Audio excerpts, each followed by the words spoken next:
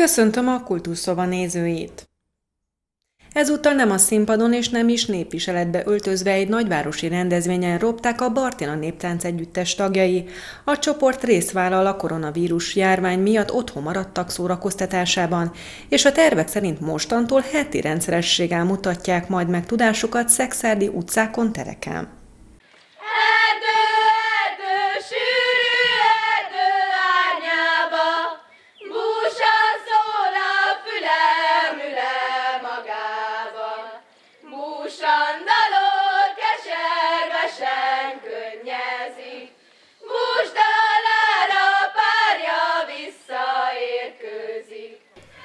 Amióta a koronavírus járvány otthonmaradásra kényszeríti az embereket, az előadók különböző formákat találnak ki a szórakoztatásokra. A sarokkoncertek vagy a kultúrpercek mind-mind azt a célt szolgálják, hogy enyhítsék egy kicsit a bezártság okozta szorítást. A Bartina Néptánc Együttes tagjai sem próbáltak március óta.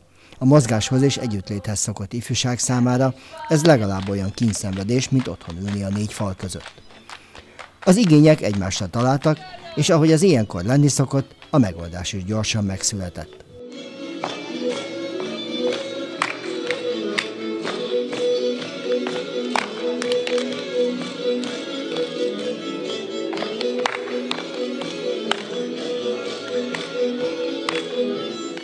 Igazándiból a táncoktató kollégáktól jött az ötlet, aminek nagyon örültem. Nekem is eszembe jutott, de örültem, hogy ők hívtak fel, hogy ők is szívesen csatlakoznának ehhez a, a sarok, eddig sarokkoncerteknek hívták. Ugye eddig koncertek voltak, de hogy most mi is jelentkeztünk picit átért, más, nevek, más nevet kapott ez a sorozat, ugye ez a kultúrpercek volt, ami szerintem egy nagyon jó kezdeményezés. A városvezetés kapva kapott a felajánláson, egyetlen kérés volt, hogy a helyszínek között szerepeljen a Mérei utcai idősek otthona is, hiszen az itt élők számára minden ilyen alkalom különleges élmény.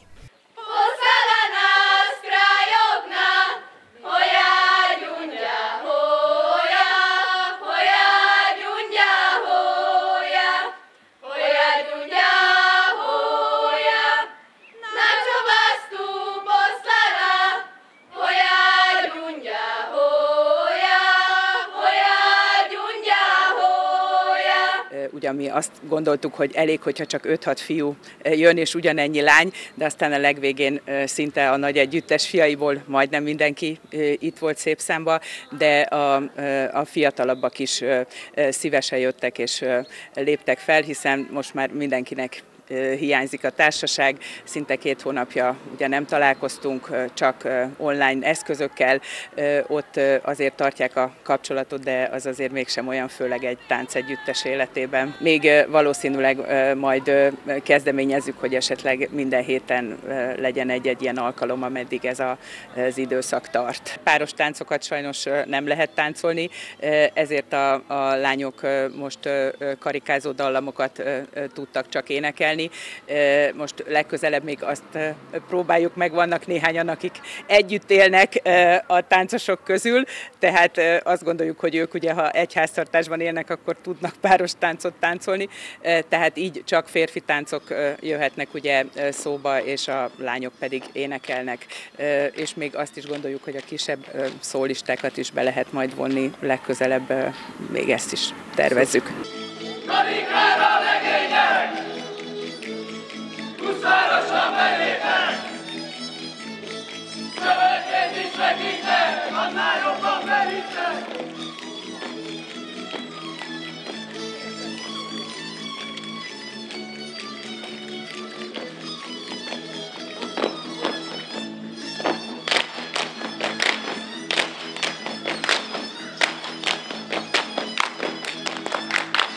Megyeszerte utcai koncertekkel kedveskedtek a hétvégén az otthonukból egyre bátrabban kimerészkedőknek.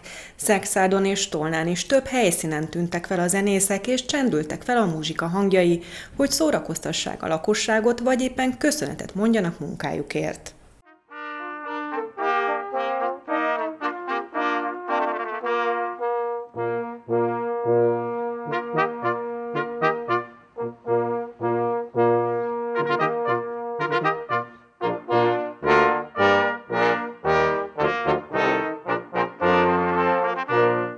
Visszatért Szexárdra a Filharmonia Magyarország által szervezett utcakoncert sorozat. A zenekar azonban átalakult, és két olyan muzsikus szállt be, akiknek erős kötődésük van a városhoz. Farkas Péter, a Pécsi Egyetem tanára számos fúvós zenekari vetélkedőben volt már zsűrielnök. A szexádi születésű zenepedagógus azt mondja, ha hazahívják, minden körülmények között eljön. Azt hiszem, hogy amikor a, a kamarazene, Rizfus kamarazene bárhol a világon megszólal, akkor az mindig eh, közkedvelt. Különösen az elmúlt 30-40-50 évben Magyarországon a Rizfus kamarazenekar a nemzetközi eh, sikerek után végre itthon is eh, rendszeresen a, a koncertlátogató közönségek kedvencei tart, közé tartozik. Most, amikor egy ilyen mm, borzalmas jár, járvány van a világon, külön öröm, amikor olyan helyekre tudunk menni, amikor a karanténbe zárt emberek ablakon keresztül esetleg sétál, sétálás közben eh, be, bele tudnak hallgatni egy pár percet. A részfús eh, oktatás olyan, hogy tanárok, növendékek, növendékek egymással eh, bármilyen fölállásban tudnak játszani. Én nekem most szerencsém van, mert ebben a csapatban most két közvetlen növendékem játszik, azon kívül az egyik szintén szexádi kisrác, a, akinek az édesapjával annak idején együtt jártam Pécset, együtt jártunk a Zenakadémiára, tehát a papával is kollégák voltunk.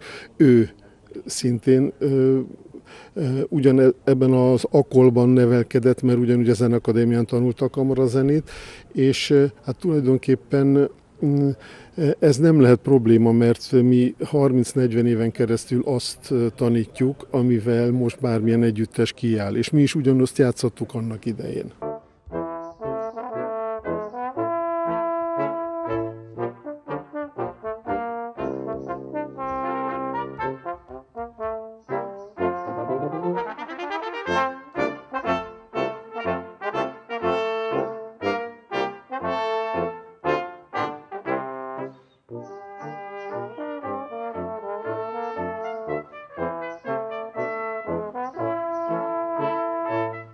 Pece Balást alapvetően jazz muzsikusként ismerik a városban, bár klasszikus zenészként végzett. Számára különleges élmény, hogy együtt játszhat volt növendéktársaival és tanáraival. Én egyébként mint klasszikus trombitás végeztem a Zeneakadémián, a jazz az, az úgy, mint egy hobbi úgy jött az életembe, és nyilván a Sexer Big Band és édesapám által.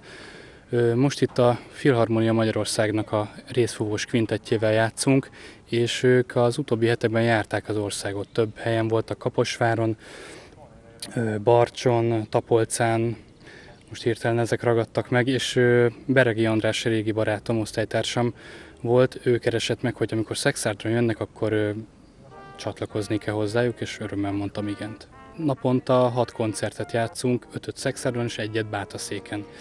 Úgyhogy az első két koncert az mint egy főpróba, főpróbához tudom hasonlítani, és utána szépen összeállnak a dolgok, és mint hogyha próbáltunk volna órákat, úgy szól a zenekar.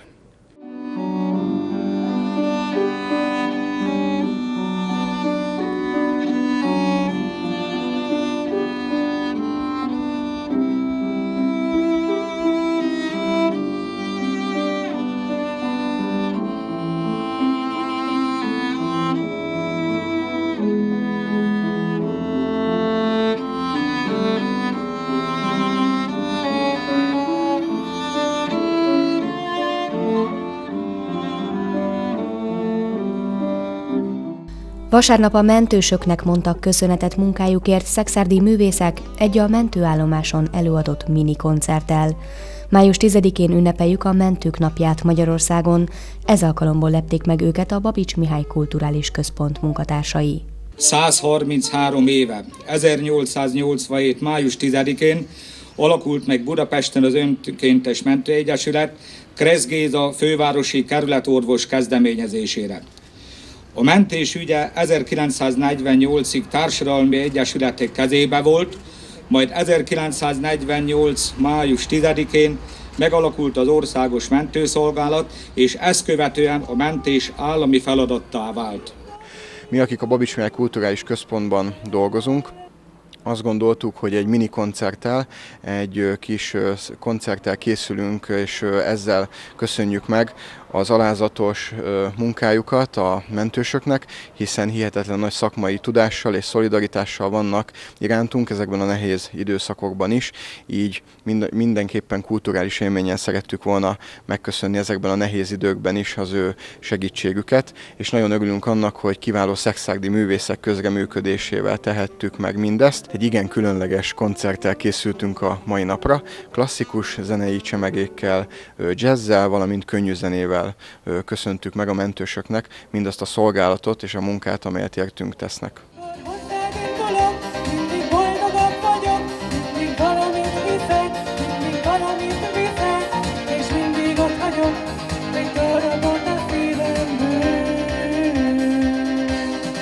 Mai nap folyamán zenész, mondhatni kollégáimnak, fellépő társaimtól hallhattunk többek között szakszofon, muzsikát, de komoly zenei mű is elhangzott. Én a mai napra kimondottan egy Máté Péter dallal készültem, egy darabot a szívemből című slágerrel, mert úgy gondolom, hogy most ez az, ami a leginkább kifejezi a mi hálánkat a mentősök, a mentők, a mentők napja alkalmából.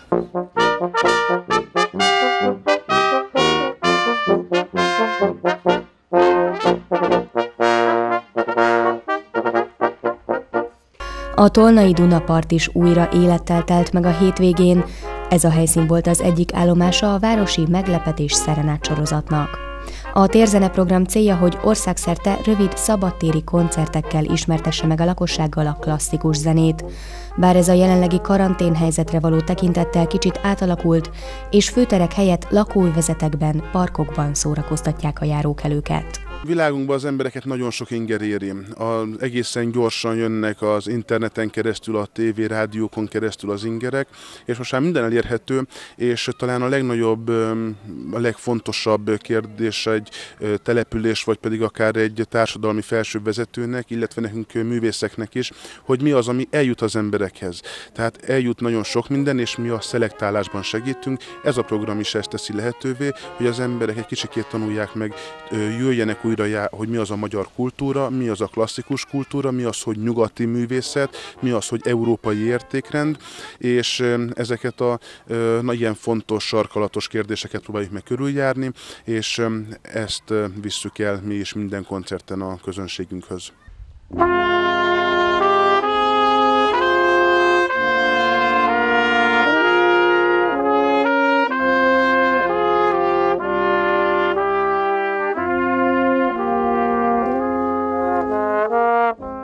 Nem véletlen, hogy részfúvós együttesre esett a választás, hiszen a településnek népszerű az ifjúsági fúvós zenekara. A polgármester szerint a tolnaiak különösen szeretik ezt a hangzásvilágot. Azt gondolom, hogy ha egy tolnai polgármester lehetőséget lát abba, hogy bármilyen fúvós zenét idehozzon a városba, akkor kutya kötelessége ezt megtenni. Láttuk, hogy máshol hogy működik ez. Tehát a kulturális államtitkárságon keresztül lehetőség van arra, hogy ilyen úgynevezett karanténkoncerteket, vagy meglepetés szerenádokat, kinek hogy tetszik, hívjunk ide, és adódott ez a lehetőség, hogy több helyen is a városba, nem, tehát itt most nem az volt a cél, hogy egy helyre sok embert honzanak, hanem hogy lehetőség szerint mindenkit a saját lakókörnyezetén tudjunk egy kicsit megajándékozni a, azzal, hogy, hogy itt most nem lehet se koncertre, se színházba, se semmi más rendezvényre menni. Próbáltuk ezeket helybe vinni. A közönség mindenhol örömmel fogadta a már rég nem tapasztalt élőzenei élményt.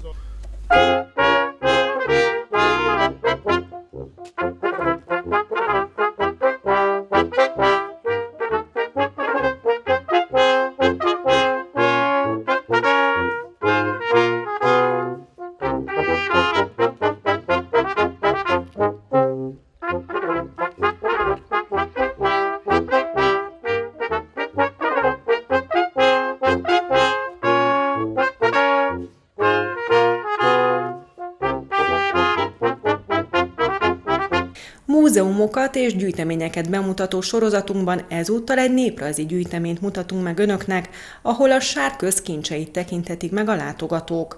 A Decsi hegyen lévő Bogártanyába kalauzoljuk el önöket. Bogár István páratlan néprajzi gyűjteményért az ország számos pontjáról utaznak ide azok, akik számára a hagyományos paraszti világ relikviái különleges élményt jelentenek. A bogártanya erekéi Bátáról, Sárpedisről és Őcséről kerültek az értőgyűjtő Bogár István kezébe.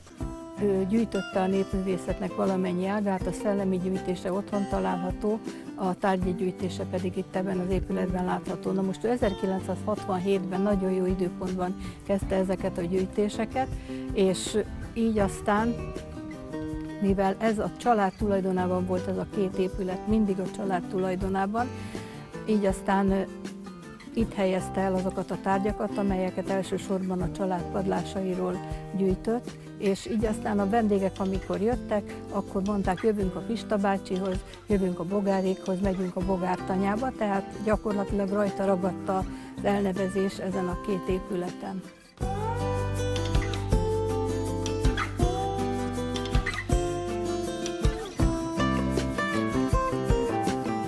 Ebből az épület típusból az 1800-as évek elején egy egész sor volt, vagyis utca volt, hogy egy udvarra nézett kettő épület, egy szobakonyha, istáló, fészer és egy présház pince, és ebből ez az egy pár maradt meg, sőt, ha jól tudom, a Dunántúlon sincs több. Éppen ezért a ritkasága és a ebbeli értéke miatt elvitték, illetve másolatban felépítették a Szentendrei Skanzen dél-dunántúli tájegységében is, tehát ott is látogatható. Tehát a tanyában készített vagy rendezett be tiszta szobát, ahol most vagyunk. A tiszta szoba mindig a család anyagi helyzetét hivatott megmutatni. Ez egy gazdag családnak a tiszta szobája, mint említettem már, a, elsősorban a családi hagyatékból kerültek ezek a dolgok ide. Az érdekességek itt elsősorban a bútorok. Ez a pad például 1809-ből való, a megfejelés 1879, de az már egy újjáélesztése a padnak, tehát bőven megvan a kora. A gazdagságot mindig, illetve az anyagi helyzetet mindig a felvetett táj magassága mutatta. A felvetett táj, amit itt látunk, 1853-as, érdekes a festése, gránátalma mintája van a felvetett tájnak a vágy végének, és a felvetett tájnak a részletei ugye a díszlepedő, a csíkos derékaj, a nagyon szép sárközi szőttes, ugye sárközi szőttesekről még ugyan nem beszéltünk, de mindig a természetet a szőtték bele a lányok és az asszonyok. A lányokat már fiatal korukban megtanították szőni, a természetből ide szőtték ezekbe a párnákba, ugye a hullámvonal lehet, hullámvonal lehet a víz, a csillagrózsa vagy a csillagvirág speciálisan sárközi minta, aztán minden népnek a folklóriában megtalálhatók a madárkák, itt is láthatók a galambok, középen a galambdúc, és esetlegesen lehet felfogni akár szívnek, akár fának, akár szőlőnek ezeket a mintákat. Tehát a sárközi asszonyok és lányok lelkéből kijött a természet, és ezekben meg is mutatkozott. Nem mutattam még az édesapám fényképét, és az ott látható. Továbbá érdekességképpen azért mutatok egy ritkaságot is, van több ritkaságunk is. Ez a fénykép 1895-ös, a nagymamám és a nagynéném 5 évesek, ezen a fényképen. Ez egy ferotípia, vagyis vaslemezre készült, egyszeri és megismételhetetlen. Ez nagy szeretettel és féltve őrizzük ezt a fényképet. Sárközi falvakban nem készítettek kerámiákat, hanem különböző kerámia központok, például Mórágy, Szexárdbaja, Siklós, Csákvár olyan kerámiákat készítettek, amelyeket a sárköz, amelyek a sárközi emberek igényeinek megfeleltek, és azokra a vásárokra vitték, ahol a sárközi emberek válogattak, vásároltak, és így kapta meg a sárközi kerámia nevet ez a típus, amelyeket itt mögöttem a polcokon látunk.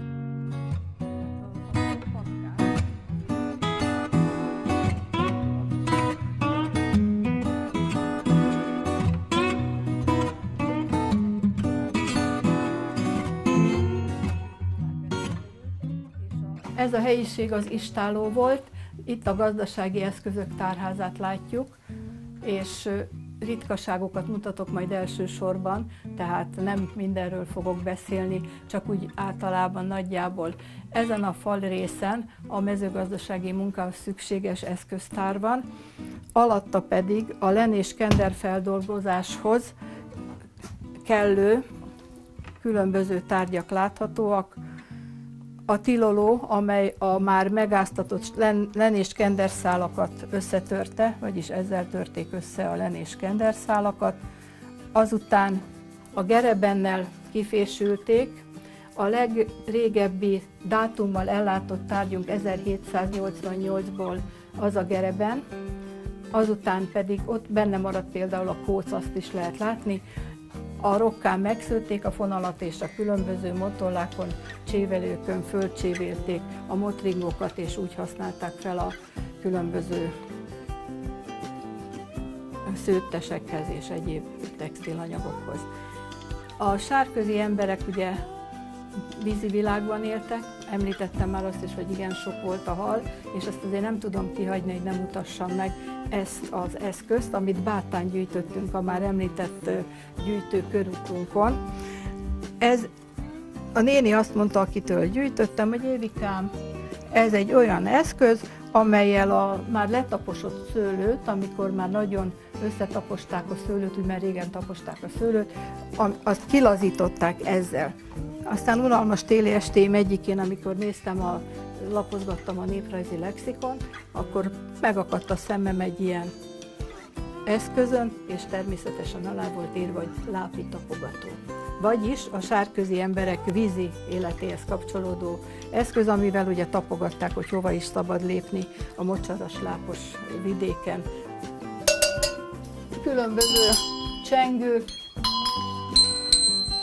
és különböző lószerszámok, amik szükségesek voltak. A, miről itt utoljára szoktam beszélni ebben, az, ebben a helyiségben, ez a, mi itt látható szemben, ez is egy ritkasság. Az én üköregapám Paprika János őcsényi mes, fafaragó faragta. Na most, ha külön megnézzük, akkor a sár közben nem volt olyan nagy hagyománya a faragásnak, mint más tájegységeken. Az én nagyapám viszont kifaragta Szigetvár várát, emlékül Zrínyi Miklósnak a Szigetvár hősvédőjének, kifaragta a kirohanási jelenetet, csata jelenetet, a várat, a várfalat, belső várudvart, és a török katonákat, magyar katonákat, lovakat, ágyukat. A Vosinski megyei múzeum restaurátora egy időben ezt rendbe hozta, hálás szívvel köszönöm most is, és az a baj, hogy ez csak egy töredék. Malonyai Dezső a Magyar Népművészet című művében írt erről az alkotásról, mint népi naív faragás, és onnét tudjuk, hogy 355 katona volt, tehát ez jellemző a nagyságára. Hatalmas terepasztalok voltak, abban lyukak, ezeken számok és ilyen kis csapok, és szépen felállította az ők nagyapám, és vásári kikiáltóként végigjárta az országot, és bemutatta ezt az alkotását. Amikor itt a Szőlőhegyen avatták, illetve először mutatta be ezt az alkotását, akkor Szexárdról 18 hintóval jöttek az előjáróságok, és nézték meg, és nagy ovációval fogadták ezt a művet, amiből csak éppen ízelítőt kaphatunk, mert nyilván ennél sokkal nagyobb volt. A Szentendréről mindig kaptunk egy telefont vagy egy levelet, akkor még ez így működött, hogy szeretnénk, hogyha a házba vagy a tanyába ezt, meg ezt, meg ezt, meg ezt gyűjtenétek, vagy keresnétek, ti jobban ott tudtok lenni, és elmentek még a sárközi falvakba. Édesapám neve akkor még kinyitotta, vagy kinyittatta az ajtókat, nyilván nem úgy, hogy csókolom, megjöttem, és akkor fölmegyünk a padlásra, hanem minden faluban, elsősorban Bátán, Pilisen, Sárpilisen, Őcsényben voltunk ilyen utakon, és felmentünk a padlásokra, és ott, amit kértek tőlünk a szentendreiek, akkor azt összeszedtük, ha tudtuk, a módunk volt rá, és akkor nem csak annyit sikerült, hanem annál sokkal többet. Tehát gyakorlatilag e- ekkor gyűjtöttünk sok dolgot, ami még ebből a gyűjteményből egyrészt hiányzott, másrészt pedig a ritkaságokat tudtuk megszerezni, ami még itt nem volt. Így aztán a családi, alapvetően családi gyűjtemény bővült. Köszönöm figyelmüket, viszontlátásra!